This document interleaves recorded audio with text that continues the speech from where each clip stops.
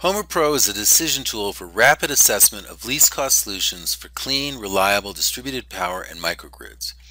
It's unique in the ability to model hybrid systems that combine renewables with conventional generation, storage, and load management. It performs fully chronological production simulations that are embedded within an optimization algorithm and packaged as a decision tool with extensive capabilities for sensitivity analysis. We've designed it with enough capability to be useful to power system designers, but kept it simple enough for smaller distributed. As an outcome of the 1992 Earth Summit in Rio, the U.S. National Renewable Energy Lab created the Village Power Program. As part of that program, I recognized the need for an optimization tool to design renewable power solutions, where the only previous options were diesel generators and grid extension. Homer originally required specialized Unix-based optimization software but in 1998 we converted it to Windows and put it on the web for others to download and use. Then in 2001 we upgraded it to model grid-connected systems and larger islanded systems of 100 megawatts or more with multiple generators. It became popular around the world with users needing support and training beyond what is appropriate for a national lab. So in 2009 we licensed it from the lab and in 2014 created an entirely new version Homer Pro. We've been releasing substantial upgrades every quarter and are now up to 135,000 users in 193 countries. We distinguish four main markets for hybrid microgrids where Homer Pro can be useful. The energy access market consists of 1.3 billion people who currently have no access to modern power. Hybrid renewable microgrids are the best way to deliver high quality power to most of them. There are also tens of thousands of inhabited islands and other remote communities where hundreds of millions of people get power from unsustainable diesel generators, many of them only providing part-time power.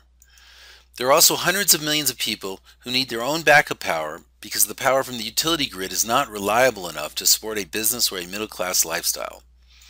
Finally, there's a growing realization that even where the utility grid is very reliable under normal conditions, it is also very vulnerable and fragile. The increasing prevalence of extreme weather and terrorist events has created interest in resilient microgrids as the only way to guarantee service for critical infrastructure. There are also specific niches in the tourism, telecommunications, and mining industries, and in campuses, whether academic, industrial, or military. Solar is the fastest growing power source in the world, and it is particularly well suited for microgrids, but like wind, it needs to be part of a hybrid system that includes some combination of storage and backup power, such as a diesel or grid connection. Homer can evaluate many different types of storage, including the new battery chemistries under development and flywheels. It can also evaluate combined heat and power systems, biomass power technologies, small hydro, and all kinds of turbines and fuel cells. Finally, load management is a critical part of a sustainable microgrid. Homer's most obvious use is to design a microgrid or other distributed power project. That design process usually involves multiple iterations. Homer Pro is particularly valuable at the early conceptual or pre-feasibility stages where there is still a lot of uncertainty about the input data. When better data becomes available, Homer can use that also. We work with a lot of companies developing and marketing new technologies. Homer shows them what are the most promising applications for those technologies, and likewise it is useful for prospective customers to understand which technologies deserve evaluations and which ones don't.